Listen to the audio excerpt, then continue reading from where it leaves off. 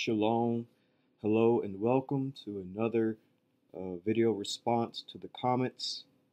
Who are the Cushites and Hamites?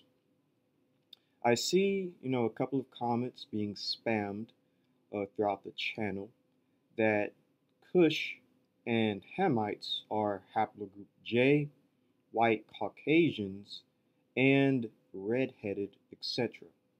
Also, that Nilots aren't Cushites or, you know, Nilots aren't in the Bible, etc. This person with the Hebrew letters says J is descendants of Ham.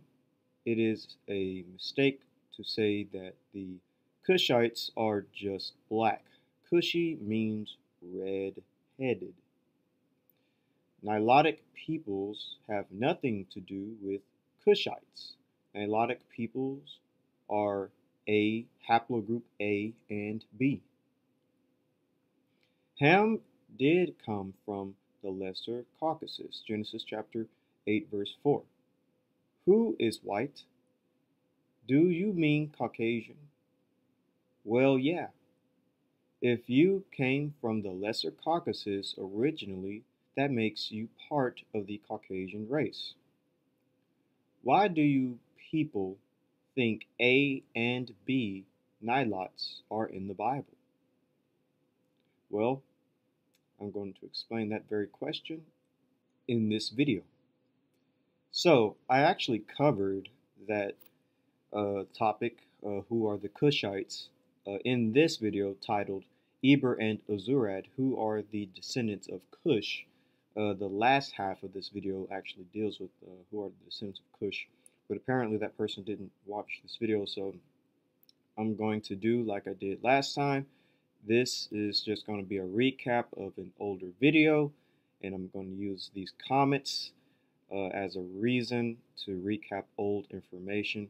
Since it seems like there aren't that many people uh, or excuse me since it seems like some people haven't uh, watched some of the older videos. So I'm going to use academia, by the way, to back up my beliefs on why I believe Ham is haplogroup A and B.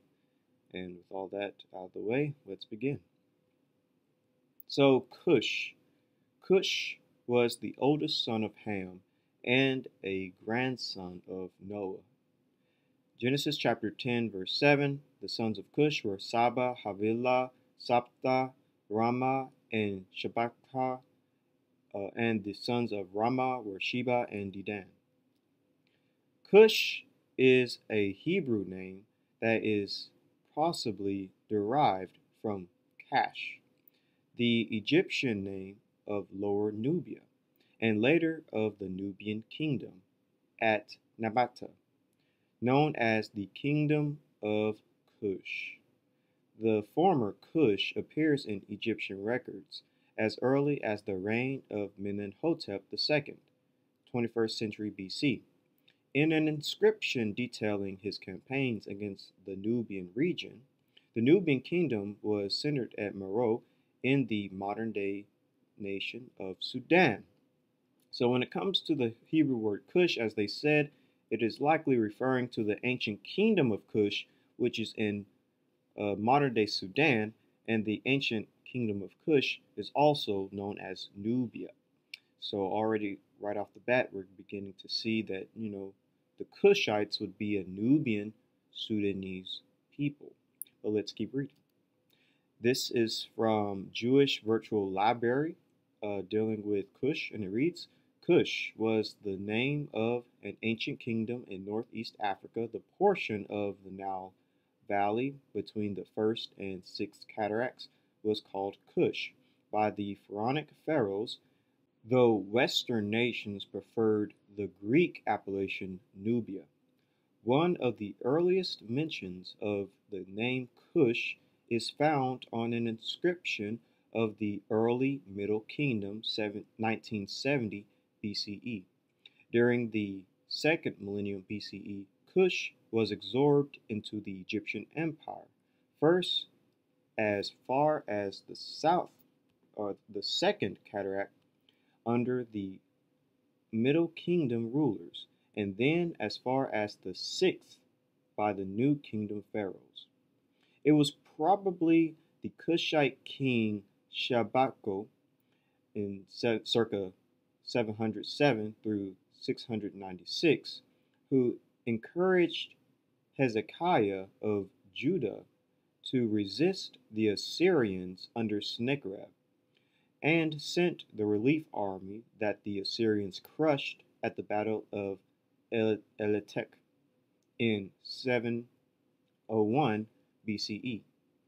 Since Taharka mentioned in 2 Kings chapter 19 verse 9 and Isaiah chapter 37 verse 9 had not yet come to the throne. According to the Bible, Cush was the son of Ham. Genesis chapter 2 verse 13, chapter 10 verse 6 through 8, Ezekiel chapter 38 verse 5, 1 Chronicles chapter 1 verse 8 through 10. And the eponym of the Northeast African people. Most modern translations follow the Septuagint. The whole of East Africa was called Cush by the Greeks. So, again, uh, backed up by uh, Jewish Virtual Library. Here are the sources. Uh, and it seems like uh, ancient Cush would have been people in East Africa, yet again, uh, likely people of Nubia, modern day Sudan. So Cush, this is the Strong's word for Cush, 3568. Cush, a son of Ham, also his descendants, also a land in the South Nile Valley. So what is south of the Nile? Land and people of southern Nile Valley. The land, the people. So south of the Nile would be Cush, south of Egypt, Cush, which would be in modern day Sudan. So, the kingdom of Kush was an ancient kingdom in Nubia centered along the Nile Valley in what is now northern Sudan and southern Egypt. This is from Britannica. The kingdom of Kush, despite the Egyptian presence in Upper Nubia, the indigenous culture of the region continued to flourish. This is from World History Encyclopedia, The Kingdom of Kush, and it reads Kush was a kingdom in northern Africa, in the region corresponding to present day Sudan. The larger region around Kush, later referred to as Nubia, was inhabited 8000 BCE, but the kingdom of Kush rose much later. The Kerma culture, so named after the city of Kerma in the region, is attested as early as 2500 BCE, and archaeological evidence from Sudan and Egypt show that knew that Egyptians and the people of Kush region were in contact from the early dynastic period in Egypt, circa 3150 through uh, 2613 BCE onwards. So again, uh, the people, uh, the kingdom of Cush is in connection to Nubia, one and the same, and it seems like this is dealing with a people in Africa, a people in modern day Sudan. And this is from the Department of Egyptian Arts, from, I believe, the Metropolitan Museum. And the title of the paper is The Land of Nubia. And it reads The region of Nubia begins at the point just south of Khartoum in the Sudan, where the Blue and White Nile join, and is linked to Egypt by the Nile River, which flows northward through both lands to the Mediterranean. The first cataract, just south of Aswan in Egypt, marks the separation of Egypt and Nubia, while the second cataract separates upper, southern, and lower, northern Nubia. So, this is the book titled the daily, the daily life of Nubians, and it reads The ancient Egyptians referred to a region located south of the third cataract of the Nile River, in which the Nubians uh, dwelt, as Cush, most often in the phrase vile Cush or wretched Cush. So again, we're starting to see that basically Cush and Nubia are one and the same, that Cushites could in fact be Nubians. So this is from the book The Nubian Past and, and Archaeology of Sudan. And it reads, The name of Nubia has long been used to describe Egyptian, oh, excuse me, to describe Egypt's southern neighbor. Historically, other names have been applied to this region and its inhabitants, Cush being a widely used term in the ancient world, as well as Ethiopia. So again, Nubia, Cush, people south of Egypt. In this book, simply called or named Ancient Nubia, the land of Nubia stretching along the river Nile from the first cataract southwards has never been very closely or accurately defined. The name Nubia has been used in a much wider sense when, when dealing with the past, and sometimes it has been used as almost conterminous with the ancient Sudan, the area of the present Republic of the Sudan. So, Nubia uh, is in uh, modern day Sudan.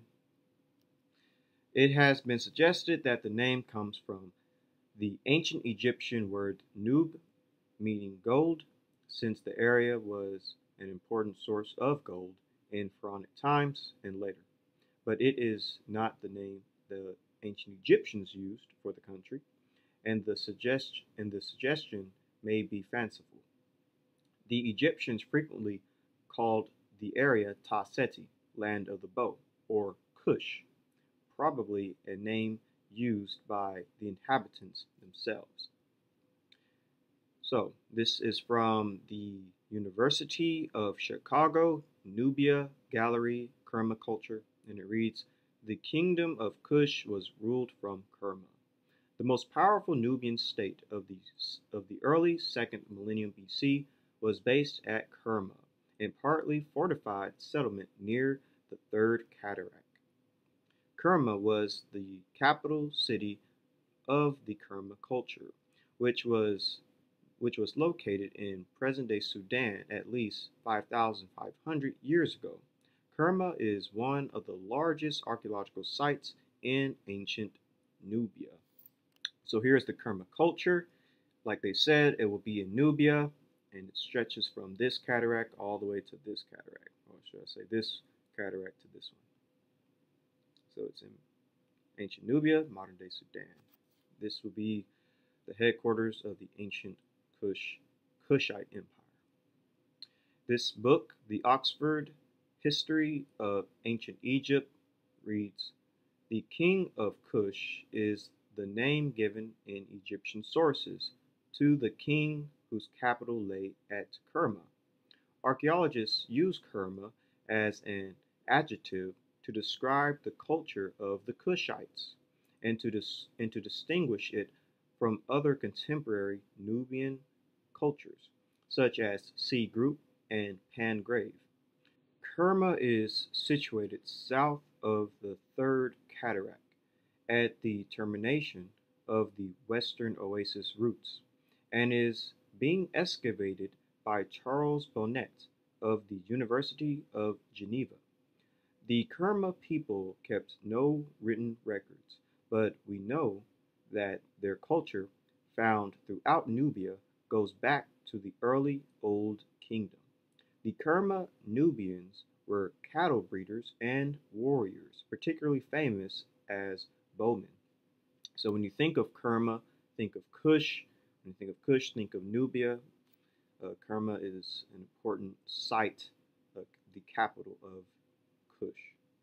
So this is from Historical Dictionary of Ancient and Medieval Nubia, and it reads Kush. This is the name for a region, the kingdom centered in Nubia. The term Kush and Kerma are particularly difficult to extract from each other. This dictionary refers to Kerma for the period from about 2500 to 1500 BCE, and Kush for the time thereafter until the end of Meroe in the 4th century BC. Some Middle Kingdom Egyptian records begin to use the term Kush for what is now called Kerma. The more consistent use of Kush begins in the New Kingdom colonial occupation when Nubia was brought under the authority of the viceroy of Kush, or the king's son of Nubia. Thus, Kush may or may not be the true lineal descendant of Kerma, depending on one's definition of territory, nomenclature, or history, but, it's, but it does seem that the impulse towards Nubian state formation of Kerma was born with Kush, i.e., the 25th dynasty, after the after the intrusive centuries of New Kingdom 1567 through 1090 BCE colonization of Nubia or of Kush ended. And this is from thought.com.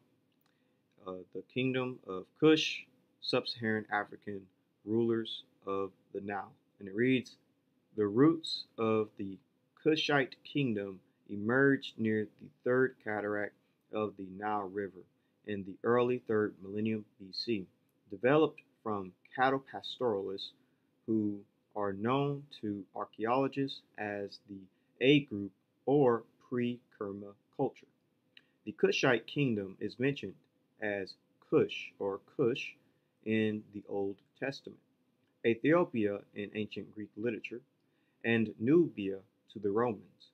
Nubia may have been derived from the Egyptian word for gold, Nuub.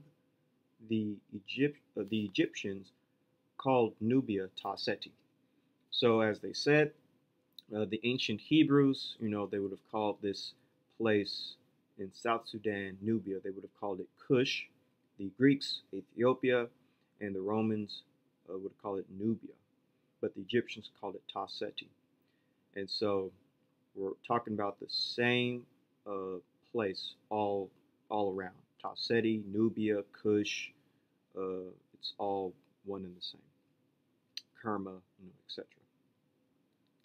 This is from, uh, this is titled Nubia and the uh, Noba people, and it reads Early settlements sprouted in both Upper and Lower Nubia. Egyptians referred to Nubia as Ta-Seti. Modern scholars typically refer to the people from this area as the A group culture. Fertile farmland just south of the Third Cataract is known as the pre Kerma culture in Upper Nubia, as they are the ancestors. The Neolithic people in the Nile Valley likely came from Sudan, as well as the Sahara. Saharan rock reliefs depict scenes that have been thought to be su- thought to be suggestive of a cattle cult, typical of those seen throughout parts of eastern Africa and the Nile Valley, even to this day.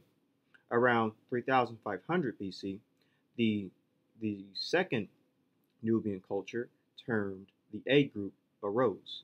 It was a contemporary of the ethnically and culturally very similar to the polities in pre-dynastic Naqada of Upper Egypt. The Nubian culture may have even contributed to the unification of the Nile Valley. So Ta-Seti, let's first kind of get a little bit of understanding of Ta-Seti, since that's what the Egyptians called uh, Nubia or Kush. So Ta-Seti. Ta-Seti marked the border area towards Nubia and the name was also used to refer to Nubia itself. And so here are some of the towns, uh, such as uh, which was the main city, was Abu, and there's Elephantine, part of modern Aswan, and among other cities were uh, uh, Philae, modern uh, Philae, uh, Sunet, and Sunyan, modern Aswan, and Pan Subek, uh, Obio, modern uh, Kom, uh, Kom uh. The district's main deities was Horus, uh, and among other uh, and among others major deities were Anuet. I'm just going to name some of them: uh, Anuet, Isis, uh, Kenum, and uh, Sobek. The Taseti people and their identity is still trying to be deciphered. Today, from what is known, they are believed to have spoken a Nilo-Saharan language. So it's believed that the people of Taseti, the people of Nubia, the people of Kush may have spoken a Nilo-Saharan language. And this is where now we're going to get into the language of these people, the language of the Kushites. What language did Kushites speak? Because this can also help us understand what their genetic background would be as well. So, but first let's look at geography. So Cush, the Cush that the Hebrews would have been talking about, the Cush that's mentioned in the Bible, it would basically be what we know as Nubia, but also modern day Sudan, Sudanese people. That will be your Cushites or Nubians. That will be your Cushites. So, this is from Handbook of Ancient Nubia, and it reads the A group and the C group languages. So let's look into the languages of the Nubians or the Cushites. The A group population was settled along the Nile between the north of Aswan and the south in the Second Cataract from approximately 3700 until 2800 BC. It predates the Wadi um, Hawar diaspora, so that it is unlikely that the language of the A group might have belonged to the to the northern East Sudanic family. And this is a Heritage Daily, Kerma, the ancient African kingdom, and it reads, the kingdom of Kerma was an indigenous Nilotic culture that emerged around the mid third millennium BC, most likely from the C group culture in the southern part of Upper Nubia. So we see that there is an association with the Kerma kingdom, which we know Kerma to be Kush or Nubia, with indigenous Nilotic peoples, Nilotic culture. And so this has also given us a more deeper understanding of who these people could be genetically and what they could look like. Uh, continuing, it says, however, archaeologists now believe that Kerma was most likely one of the earliest African kingdoms identified in the Egyptian texts from the Middle Kingdom with the name of Cush, and that's what we're trying to figure out, that rose to prominence due to the strategic position on several uh, cavern routes linking with Egypt, the Red Sea, the Horn of Africa, and sub-Saharan Africa. So let's look into the languages now. The Nilo-Saharan languages are a proposed family of African languages spoken by some five or excuse me, some 50 through 60 million people, mainly in the upper parts of the um, Chari and Nile rivers, including historic Nubia, which we know to be Kush, north of what north of where the two tributes, uh, two tributaries of the Nile meet.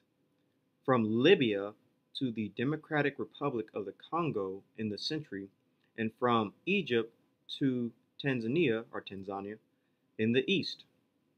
And so that's actually a very large, large mass of uh, land where Nilo-Saharan languages are being spoken. Basically, basically it's all over Africa, uh, except in uh, Western Africa. So we're going to specifically focus on the Eastern Sudanic So uh, let's, because there's various subdivisions of the Nilo-Saharan language family. Here's, that's Nilo-Saharan, but this is just the sub-branches. So our focus would be the Eastern Sudanic.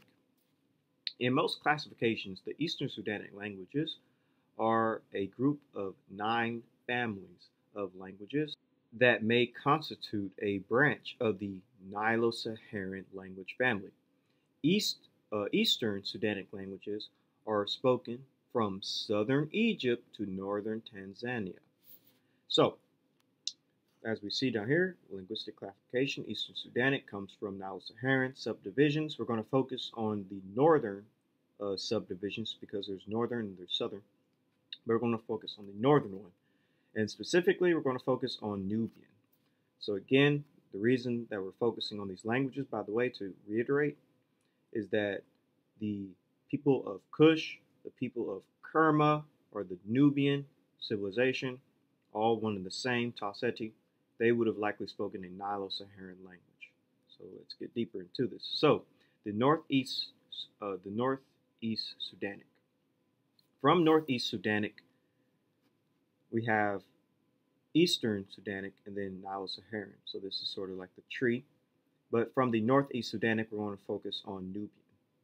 So Nubian languages. Nubian languages are a group of related languages spoken by the Nubians. They form a branch of the Eastern Sudanic languages, which is part of the wider Nilo-Saharan uh, phylum. So again, here's the linguistic classification. So you go from Nilo-Saharan to Eastern Sudanic to Northern Eastern Sudanic to Nubian. Now the subdivisions of Nubian is now Nubian and Western Nubian. But we're going to just look at, at the trees.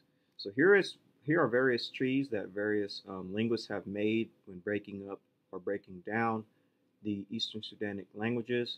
And Nubian is considered a Sudanic language, and Nubian is related to Nilotic languages. It's part of the same tree. Nubian being a more northern Sudanic language, with uh, Nilotic being a southern. And here again, Eastern Sudanic, Nubian is more northern, Nilotic is southern. And here's another. By the way, let me just back up. This is from Bender at 2000. And this is from Rilly at 2009. This is from a, a Starostin in 2015. And uh, here is from Starostin in 2014. Uh, Nubian and Nilotic branches. Blench in 2019. Uh, Roger Blench.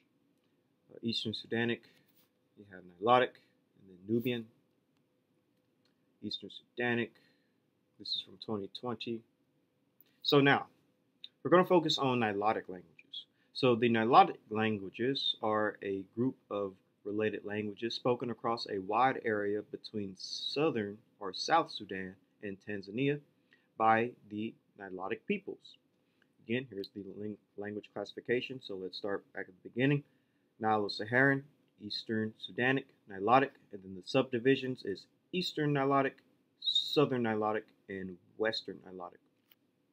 In most classifications, the Eastern Sudanic languages are a group of nine families of languages that may constitute a branch of the Nilo-Saharan language family. Eastern uh, Sudanic languages are spoken from southern Egypt to north, northern Tanzania. So in here are the subdivisions, linguistic classification, Nilo-Saharan, Eastern Sudanic, and then the subdivisions. The northern one was Nubian that we read earlier, and then now we're focusing on the southern, which is Nilotic. So why is this all important? Well, let's read this. A proto-Nilotic unity separate from an earlier unidentified Eastern Sudanic unity is assumed to have emerged by the 3rd millennium BC.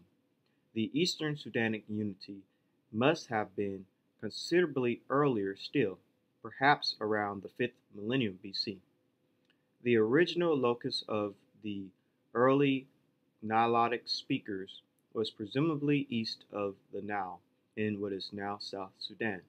The Proto-Nilots of the third millennium BC were pastoralists, while their neighbors, the Proto Central Sudanic peoples, were mostly agriculturalists. Nilotic people practiced a mixed economy of cattle pastoralism, fishing, and seed cultivation. Genetics and linguistics studies have demonstrated that Nubian people in northern Sudan and southern Egypt are an admixed group that started off as a population closely related to Nilotic peoples. And this is why all of this is important. We're trying to figure out who are the Cushites. We know that Cushites are Nubians, Kerma culture, Taseti, in modern day Sudan. And the Nubian peoples are related to Nilotic peoples. This can get us closer to the haplogroup of the Cushites, the phenotype of the Cushites, etc. So let me read that again. Genetic and linguistic studies have demonstrated that Nubian people in northern Sudan and southern Egypt are an admixed group that started off that started off that started off as a population closely related to Nilotic people. And that's why Nilotic people are extremely important because that's where Nubians started off as before they became an admixed group. So that means you technically can't look at like modern day Nubians. You have to look at Nilotic people to get the best and closest representation of an ancient Kushite because Nubians are split off first from Nilotic people. Now I'm going to continue what it says. Nubians are considered to be the descendants of the early inhabitants of the Nile Valley who form who later formed the kingdom of Cush, which included Kerma and Meroe, and the medieval Christian kingdoms of Mercia, Nabatea, and Almadai.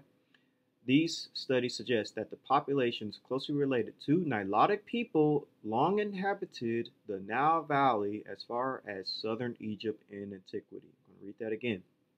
This studies these studies suggest that the populations closely related to Nilotic people long inhabited the Nile Valley as far as southern Egypt in antiquity. And so here are the subdivisions of Nilotic people. You have Eastern Nilotic people, Southern Nilotic people, and Western Nilotic people. These are the language breakups. Now, why is all of this important? Now, remember, the initial comments is that J is the descendants of Ham it is a mistake to say that the Cushites are just black. Cushy means red-headed. Nilotic people have nothing to do with Cushites. Nilotic peoples are haplogroup A and B. So remember, they're saying that Nilotic people, Nilotic people have nothing to do with Cushites. So what we just read is that Nilotic people are literally Cushites. You know, and you know he says, why do people think haplogroup uh, why do people think A and B Nilots are in the Bible? Well, if Cushites are Nilots, then by default they're in the Bible. But we're going to get into why all of this is important, mainly because of what he said. J is the descendants of Ham, which uh, wouldn't make sense. Disagree with that. So why is covering um, Cush, Nubia, Nilots all in connection with one another? Why is that important? Well, here's why. Haplogroups A and B being concentrated among Khoisan populations in the southwest, the Nilotic populations toward the northeast in the Nile Valley, BT is a subclade of haplogroup A, more precisely of the A1B clade. Nilots have haplogroup A, well, A and B. We're going to focus on A. Upper Nile. Haplogroup A3B2-M13 is common among the southern Sudanese at 53%, especially the Dinka Sudanese at 61.5%. Remember, ancient Kush is in modern-day Sudan. Sudanese people would be Nilot, would be, well, there are Nilotic Sudanese people, but Sudanese people would be the descendants of uh, Kushite peoples. In a study by Hansen in 2008, analyzed the Y DNA of populations in the Sudan region, with various local Nilotic groups included for comparison. The researchers found the signature Nilotic A and B clades to be the most common paternal lineages among the Nilo-Saharan speakers, except those in those inhabiting uh, Western Sudan. Now, again, what did we learn about the Kerma people? They likely spoke a Nilo-Saharan language. The ancient Kushites would have spoken a Nilo-Saharan language, and the Nubians are a branch. Well, they start off as Nilots, and so let me read that again to show you why this is important. The researchers found the signature Nilotic A and B clades to be the most common paternal lineages amongst the Nilo-Saharan speakers. Nilotic people, Nilo-Saharan speakers, ancient Kushites, modern Kushites, likely would have had haplogroup A and B. This is why uh, I believe, and the people in my comments believe that haplogroup A and B are ham. It matches perfectly. I'm going to continue what, what it says. There uh, there, a prominent North African influence was noted. Haplogroup A was observed among 62% of Dinka, 53.3% of Shilluk, uh, 20, uh, 46.4% of Nuba, 33.3% of Nuer, 31.3% of Fur, and 18.8% of Masalet. So here is a chart of haplogroup A and haplogroup A from 14% to 64%, basically among Nilotic, Nilo-Saharan, Sudanese, and Khoisan pe uh, peoples. It is a very, very dominant haplogroup among Nilotic, uh, Nilo-Saharan, and Khoisan.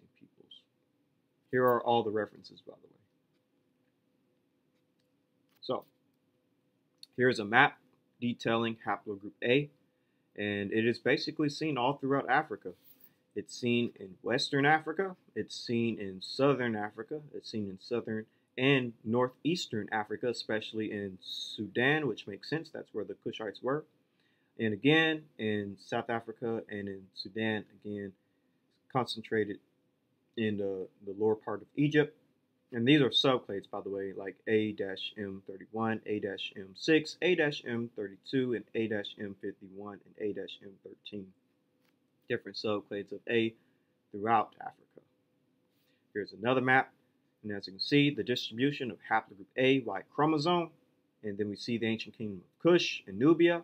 Haplogroup A is highest in that area that would have been the ancient Kushites, the ancient Nubians, Nilotic people, Nilo-Saharans.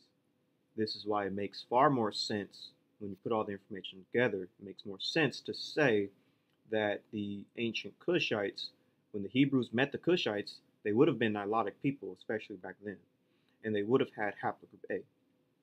And so when the Hebrews are writing in their, you know, writing in their tablets or writing in their scrolls or or papyrus or what have you, they would be writing about these peoples as Kushites, Nilotic peoples, Nubians, people who would have had haplogroup A uh, back then, and to this day still have haplogroup A. And so here's a chart detailing ancient remains we found uh, from graves we've dug. Some of the ancient and oldest um, uh, African markers we actually find, uh, haplogroups, actually are A and B markers. They're the oldest ones, older than even uh, ones we find of haplogroup E. Haplogroup E is actually kind of, in a sense, kind of young compared to haplogroup A and B. Uh, so here, uh, deep paternal genetic roots in Africa. Uh, so what we find in northern African groups, we actually find A1A, A1B, A3B2, and possibly B1. Here is it right here. A lot of this would be a Nilotic people, so we find A even in ancient and in some cases we still find today, uh, haplogroup A and B in Western Africa and even in Northern Africa, and of course in Southern Africa. But ancient West African foragers in the context of African population history, this paper actually shows that the oldest remains in West Africa are A and B markers. We find A00, BT, B, B2B1, and B2B. And mitochondrial is typically A0 and A1.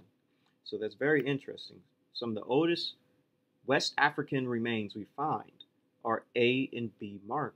Those would be Hamites. Those would be your Hamitic peoples. Speaking Nilo-Saharan, Nilotic, Pygmy, or Khoisan click languages. And here is haplogroup B. Our focus is mainly on A, but I'm just going to go ahead and show you haplogroup B.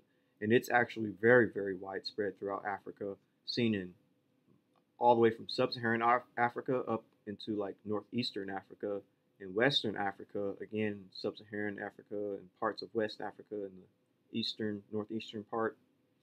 And here's more in the eastern part of Africa, but also the western and the southern part of uh, s- central West Africa. And these are just uh, different subclades like B-M236, uh, B-M182, B-M150 and B-M112 and of course B-M60. So, and here's A again. So you have A and B throughout Africa. A and B would be your Hamites. And then came haplogroup E, which pushed a lot of these A and B markers southwards. And as you know, from my model, I would say haplogroup E is Shem. Shem came into Africa and pushed a lot of the Hamites down, or they add mix with Hamites as well. Uh, here, over here is a chart that shows haplogroup A and B is typically considered to be African, true African or Paleo-African. It is the oldest ones we find in Africa among Nilotic, Pygmies, Khoisans, Nilo-Saharans, Sudanese peoples.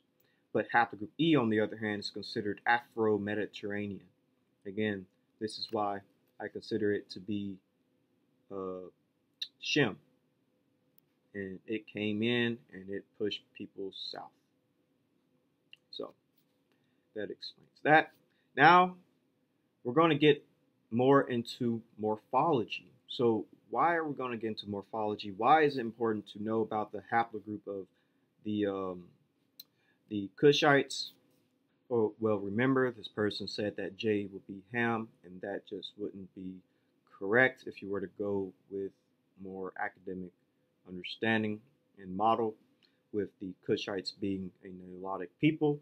The Kushites will have haplogroup A and B, but also what was said was that the Kushites are white uh, and that the Kushites are Caucasians and that the Kushites are redheaded.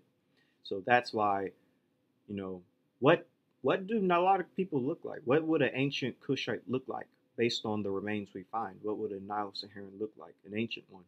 What do the remains in ancient Kush, in ancient Sudan, in ancient Nubia show us? What are what is the phenotype of the ancient Kushites? Dental trait analysis of A group fossils found affinities with populations inhabiting northeast Africa, the Nile Valley, and East Africa. And remember, A group is uh, ancient Kush. Among the sample populations, the A group people were nearest to the Kerma culture bearers and Kush populations in Upper Egypt and to Ethiopians. So it says it right there followed by the Moronic uh, X uh, group, the Christian period inhabitants of Lower Nubia, and the Khalis population in the Dakila Oasis, as well as C group and Pharaonic era skeletons excavated in Lower Nubia and ancient Egyptians. The linguistic affinity of the A group culture is unknown, Beyond this, Rilly states that the range of possibilities remain wide and include a language belonging to another non-northeast northeast Sudanic branch of the Nilo-Saharan family.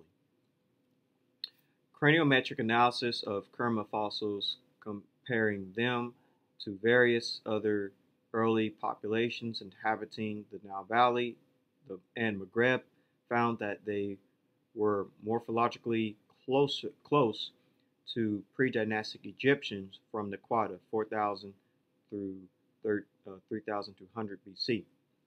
Dental trait analysis of Kerma fossils uh, found affinities with various populations inhabiting the Nile Valley, Horn of Africa, and Northeast Africa, especially to other ancient populations from the central and northern Sudan.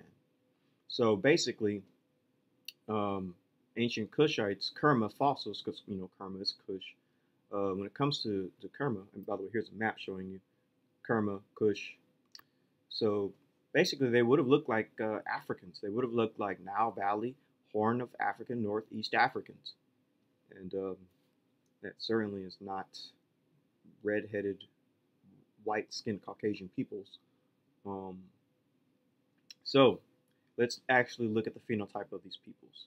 Nilo-Hamitic, Nilo-Hamitic, intermediate type between Nilotic, and Ethiopic that is associated with the Nilo-Hamites or half-Hamites, dark brown to black skin, usually kinky, sometimes tight, curly hair.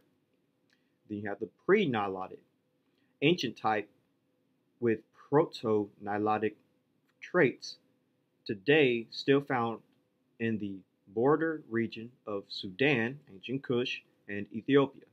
Black skin and kinky, sometimes tight, curly hair.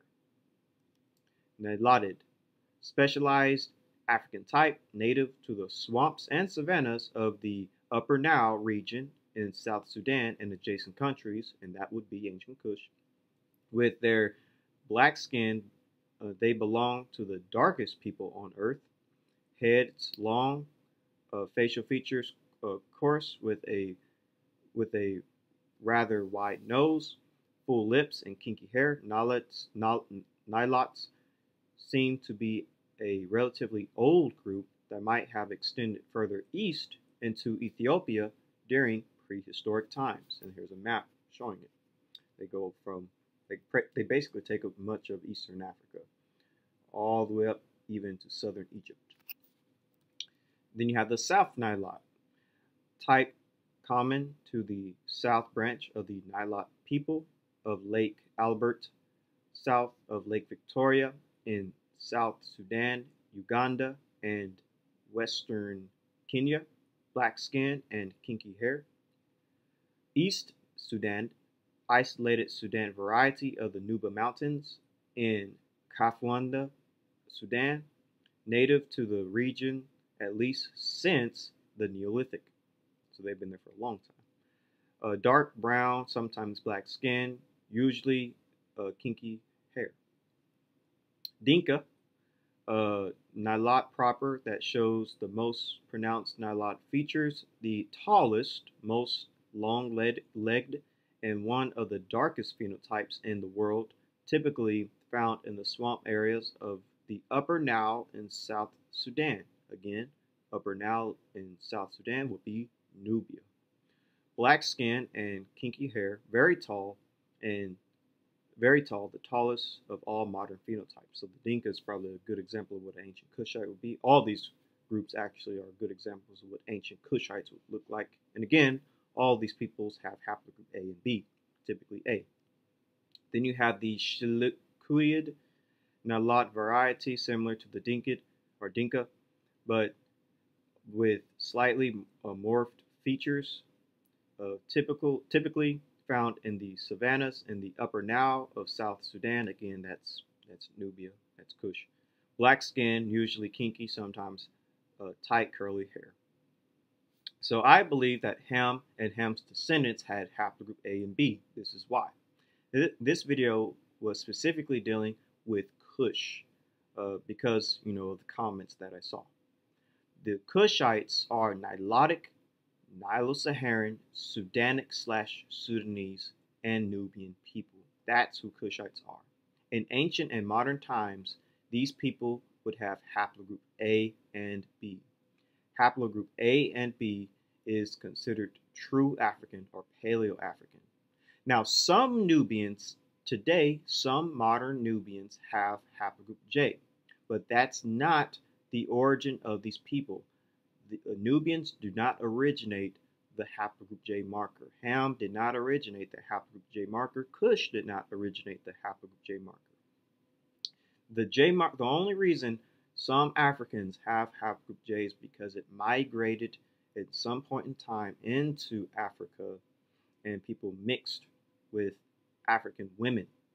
And that's why you find some modern day Nubians with haplogroup J. But as I read in the other paper, Nubians first split off from Nilots, and Nilots had haplogroup A. Therefore, Cush would be haplogroup A. In this, and so uh, in this same, this is actually the same issue that we have with calling modern day people with haplogroup J Semitic today. Check out my latest video, haplogroup E versus J, because, you know, like some people say, because people in the modern Middle East have haplogroup J, then they must be the originators of Proto-Semitic people. But no, Semitic, uh, Semitic people, Proto-Semitic people had haplogroup E. J came in later and adopted Semitic from haplogroup E, and that's why you have Semitic people today with haplogroup J. But anyways, uh, just because a modern population has a particular haplogroup doesn't mean it was always there. Nubians are a branch of Nilotic people. Therefore, Nubians who are true Cushites would have haplogroup A and B. Furthermore, when the Israelites met Cushites way back then, you know, 3,000 years ago, or made mention of Cushites within their writings, they were likely talking about Nubians or, you know, Proto Nilotic people, which back then, Nubians or, you know, Cushites would have had haplogroup A and they would have been black African people living in Sudan. So they would not have been red-headed or white or Caucasian or anything like that. They would have been they would have been super negroid, I guess you can say. So again, just to re reiterate everything that I said, Cush, Cush, son of Ham, uh, also his descendants, also a land in the South Nile Valley, a Proto-Nilot unity separate from an earlier undifferentiated Eastern Sudanic unity is assumed to have emerged by the 3rd millennium BC. The Eastern Sudanic unity must have been considerably earlier still, perhaps around the 5th millennium BC. The original locus of the early Nilotic speakers was presumably east of the Nile in what is now South Sudan. The Proto-Nilots of the 3rd millennium BC were pastoralists, while the neighbors, the Proto-Central Sudanic peoples were mostly agriculturalists. Nilotic people practice a mixed economy of cattle pastoralism, fishing, and seed cultivation. Genetic and linguistic studies have demonstrated that Nubian people in northern Sudan and southern Egypt are a admixed group that started off as a population closely related to Nilotic people. That started off as a population closely related to Nilotic people. Nubians are considered to be the descendants of the early inhabitants of the Nile Valley, who later formed the Kingdom of Kush, which included Kerma and Meroe, and the medieval Christian kingdoms of Mercia, Nobotia, and Albada. Excuse me for my mispronunciations. These studies suggest that populations closely related to Nilotic people long inhabited the Nile Valley as far as southern Egypt in antiquity. These studies suggest that populations closely related to Nilotic people long inhabited the Nile Valley as far as southern Egypt in antiquity. So who would the Cushites be? Ancient Cushites would be Nilots, Nilotic people. So what would an ancient Cushite look like? Nilot, specialized African type native to the swamps and savannas of the Upper Nile region in southern Sudan and adjacent countries. With their black skin, they belong to the darkest people on earth. Heads, uh, long features, coarse, with a rather wide nose, full lips, and kinky hair. Nilots seem to be a relatively old group that might, that might have extended furthest, further east into Ethiopia during prehistoric times. What would the haplogroup of an ancient Kushite of a Nilot haplogroup A.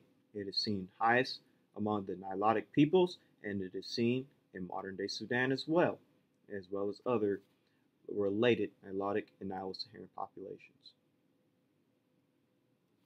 And if we look at a map detailing ancient Kush, ancient Nubia, and the distribution of haplogroup A, Y chromosome, we see that it fits perfectly. It overlaps perfectly.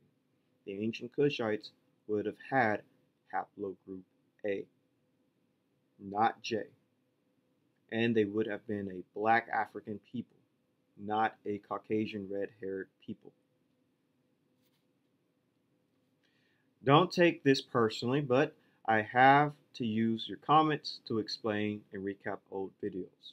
But this is why I advise people to watch my old videos because some of the things that's left in the comment section I've already covered.